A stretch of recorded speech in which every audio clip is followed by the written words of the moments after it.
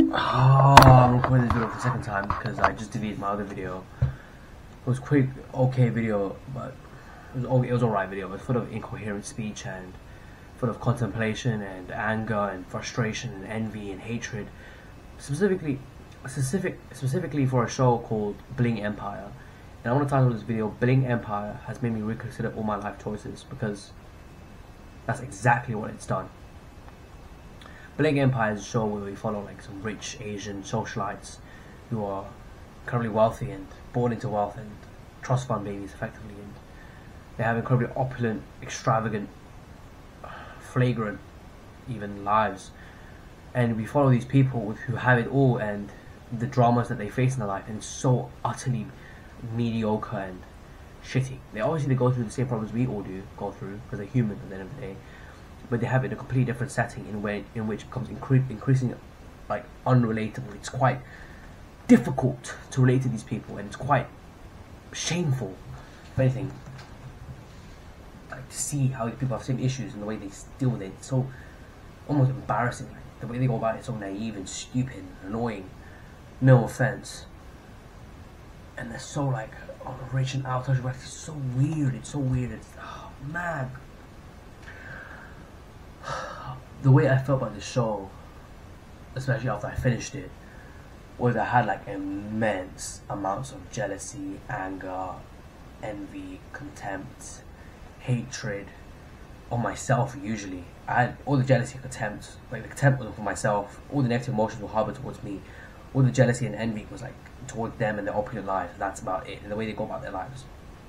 In the video before I mentioned how how a lot of these guys, like they're very naive and stupid. You know, they hire like some Chinese, like fucking uh, read your palm type of guy, and he reads your palm and he says some shit which is vague but kind of applies to your life. And then, and it was like, and it was like, oh wow, really? Yeah. How did he know? And oh wow, that's true, etc. etc. etc. And I just think to myself, what the hell, man? They can afford. They, that guy's pretty rich as fuck. Like the guy who recently looked at Kane's house with a black sword with a feng shui type bullshit. He he drives a Rolls Royce. He is rich. He's balling. There is rich people paying him in order to do rich Asian people paying him to fucking do this stupid shit in their houses. And it's just he's making serious bank of it. Here I am. I don't have a I don't have a job. I'm looking for a job. The job options I have at the moment I'm not sure about. What I can do is fucking make my CVs and pray to God it's quite how I say this? It's quite not necessarily stressful. It is stressful, but it's quite. You know when you like you feel silly, feel silly, and you feel like um, ashamed of what you're doing because it seems so stupid in comparison. And guys, I know comparison is of all joy. However, you guys have to understand. I'm gonna compare myself to these people. I'm Asian. We look somewhat similar, and because we look somewhat similar, I think like, these people could, like, could, these people could be like my cousins. That's how I, this is the thought process in my mind. And when I think about like that, I'm like, holy shit, these people that could be related, could been related to me, or they look look kind of like me, they're living infinitely better lives than me. It's kind of like a reflection of yourself. It's like a white guy seeing another white guy who's super rich, and they look like similar white guys, and he's like, that could have been me, but it isn't me. That's the best way I can describe it. It's not like some racist type shit, guys. Chill out. Is that racist? Man, fuck this racism shit. It's killing my head. They update new races every single year, man. Keep adding new shit. Bro, add a new update. the way I, I, that's the way I see it. Like the way I see it is like that, and it's quite annoying, quite frustrating. I can't even. I, I, I, when I watch the show, like I enjoy the show. Like it's one of the only shows I legitimately enjoy, apart from like The Mandalorian. That's the only show I probably enjoy otherwise. But any, anything else than that, like I genuinely enjoy the show, and I just think to myself after the show has ended, holy shit, what am I doing in my life? Every single life choice I made so far seems insignificant, seems worthless, seems pointless. Every single decision I made, pointless. Every single achievement, pointless. Every single outcome, pointless. Everything feels and is pointless in comparison to these people and their lives. And of, and of course, I know comparison is the killer of all joy, but you can't help but not compare. You're human. We're human. We're all we're all of course gonna compare. It's very fucking annoying and stressful. Jesus, man. I titled in a video, another video that I want to upload soon. I have 50 videos. I'm just looking at it. I have to, I have to title. Um, how many gigabytes is this? 59 gigabytes. Oh, thanks me. 59 gigabytes worth of videos here. And oh my god, I'm pissed. 59, 59 gigabytes worth of videos. I haven't finished it. And in one of them, I haven't uploaded them yet. I procrastinated my work. And in one of the videos, I say I genuinely think I found my purpose, in which I describe what I want to do and what I ideally want to do and how am I going to achieve it, etc., etc. Like huge aspirations and future goals and this, is and that, and like second guessing everything and just being like fucking unsure as fuck. Why? Why am I unsure as fuck? All I want is money. A money and time and freedom. I know what I want. But the method and the process that I can use to get there is often questionable in all sense to me. Oh, fuck, man, it's annoying. I think I genuinely think I found my purpose, which was like biomechanical engineering and becoming an entrepreneur. Okay, how many entrepreneur books you read? I read one. Then I read Tao Te Ching by Lao Tzu, and then I read, um, I read with the Secret Family Happiness, like some Christian book. Found right here. Secret Family Happiness. It was quite a good book, I can't lie. It, it, it's pretty based, even though it's a lot of Christian propaganda, and I don't appreciate that because I'm not particularly Christian or religious at all. Respect to the Christian religion, though, Christian faith when executed properly, but for the most part in the West, they are not executed properly, so. Anyways. I, I say that, how many entrepreneurs have I made, how many businesses have I made, how many enough, it's not even how many businesses I made, how much money have I made with my businesses, not enough, how many books have I read, not enough, mechanical engineering, are you learning uh, biology? No. Are you learning mechanical engineering? No. Are you learning engineering? No. Are you learning coding? No. Are you learning programming? No. Are you learning...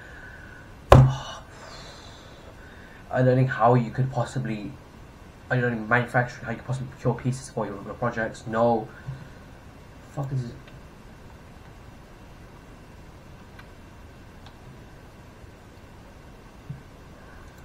fuck is this shit? What, what's happening?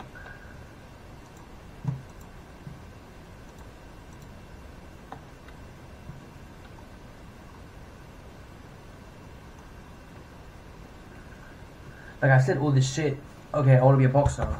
Haven't been training. I recently know because my wrists are fucked. I haven't been putting ice properly on them. So if I do swing like, on, a, on a bag, it's gonna start hurting again. I don't know if the damage is permanent. I hope it. To God, it isn't. I'm about to take another cold shower, run it under cold water as well, trying to make it heal. Oh, just such. It's so much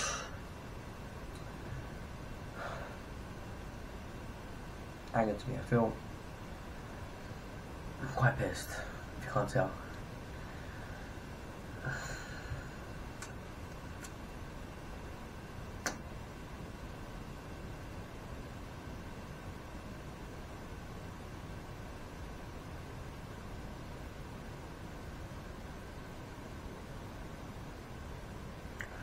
Bling Empire has been a huge wake up call for me throughout my entire life and so far it's just been a series of wake up calls, wake up calls, wake up calls. And that's just really just put the nail on the, on the just just nail, hammered the nail and nail I was say nail on the hammer, but that doesn't make sense. Really put, it really put the nail on the hammer. As if that makes sense. Stupid.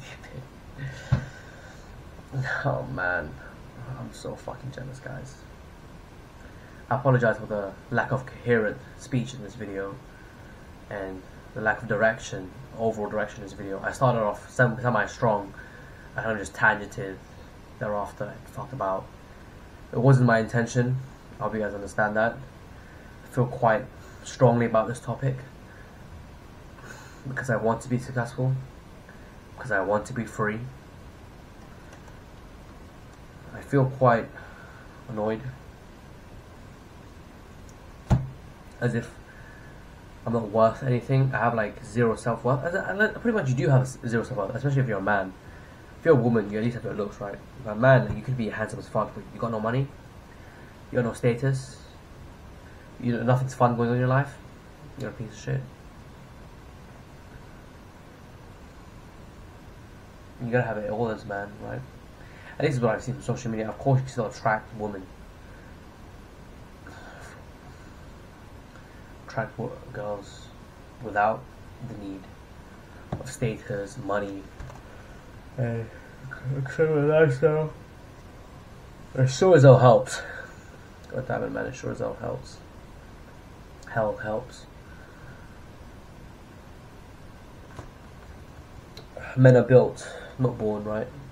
Unless you're Skylar, the son of Mimi and Don. The literal platinum spoon. And I, I said it before in the video before I deleted it, but he doesn't have a. Pla- it's it's it's kind of cheap to say that he has a platinum spoon. It's wrong to say he has um, a gold spoon in his mouth, a silver spoon in his mouth. Uh, no, has, it's wrong to say he has a bronze spoon in his mouth, a silver spoon in his mouth, a gold spoon in his mouth.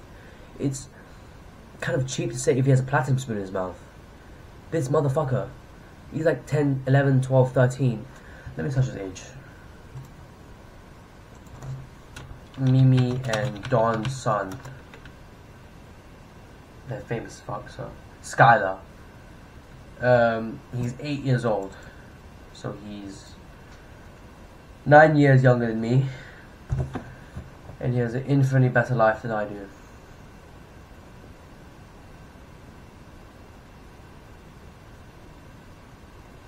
Donald Morris. Morris Group International. That's a fucking sick name, Morris. It's cute.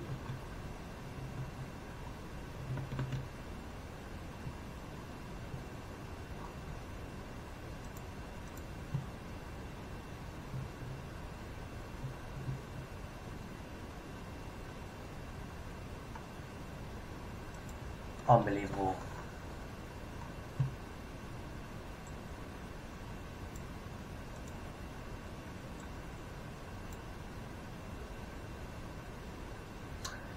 He's eight years old. He has an Amex black card with a spoon in his mouth. An Amex black spoon. There's nothing I can really do about it other than focus on my life. But fuck is it frustrating to see. Of course life is not um, it's not fair, but fuck bro. That is still difficult as fuck to see.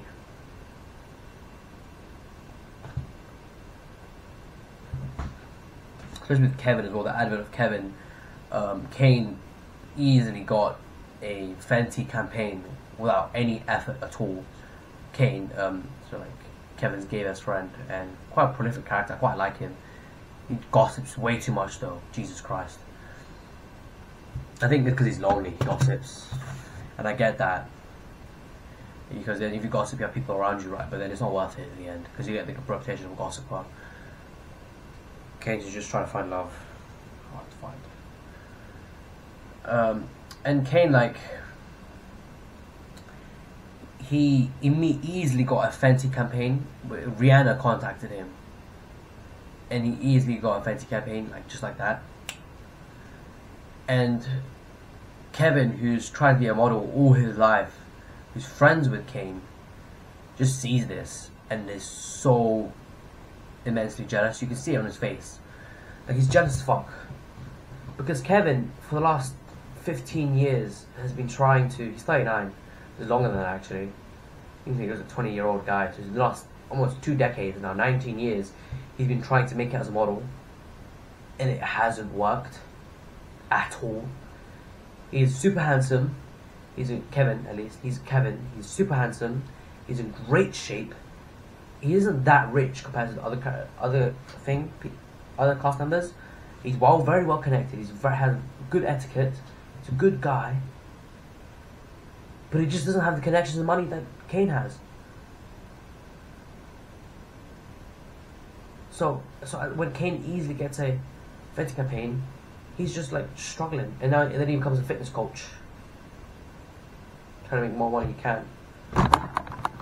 It's fucking tough, man.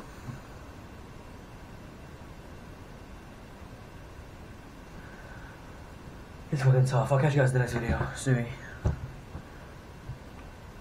I hope this is walking your eyes up a bit. I hope this has made you slightly jealous, slightly frustrated, slightly angry. Maybe I'm me. Maybe you think I'm, I'm some delusional teenager. Good. Use that energy for something positive, and use that negative energy to have an actual tangible ROI in your life. The guys who, sp- who spill shit in my comments, hate comments, I know they won't be successful in my life. Obviously, there's still nothing stopping them from putting the hate comment real quick and then going back to work. But for the most part, if they're putting hate comments on videos, like they make one, they're making me more successful. Two, they're wasting their time. And they're probably in the YouTube death trap, just endlessly scrolling on social media.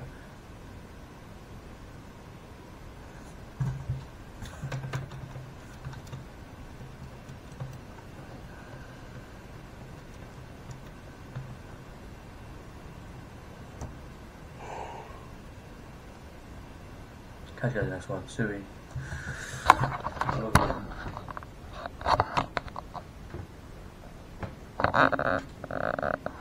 Oh, yeah, am I? you went to sleep. You went to sleep. You're so cute.